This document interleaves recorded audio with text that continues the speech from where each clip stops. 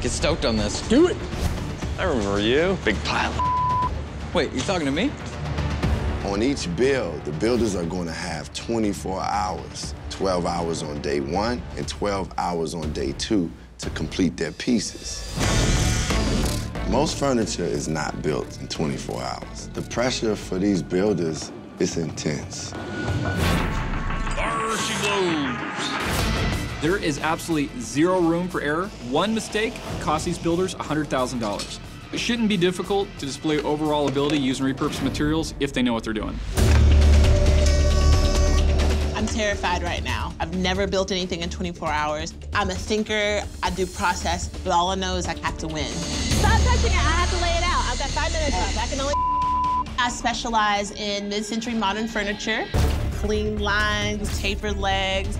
I want to make a coffee table. I'm going to show my overall ability by using my wood patterning technique, where I use wood in different directions and different colors. And it's going to be really fly. Jory, do you have anything with a magnet on it? I just want to see if this is magnetic. I find myself to be a jack of all trades. I would specialize mainly in wood and metal. Anything rusted, beat up, vintage. That's a pretty anchor. You like that? So bitchin', right? When I was 15, I earned a spot in a professional skateboarding tour. One night I miscalculated a landing and shattered my ankle. I never skated again.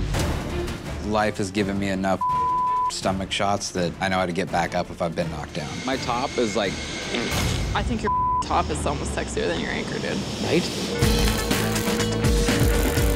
There's a lot of people that don't think girls weld. I grew up on a farm and I have been around tools and machinery pretty much my whole life. I love designing retro modern furniture. I have a really simplistic mainstream style. What are you making? Kind of a sling seat rocking chair. If I could just weld it, it'd be better. Right.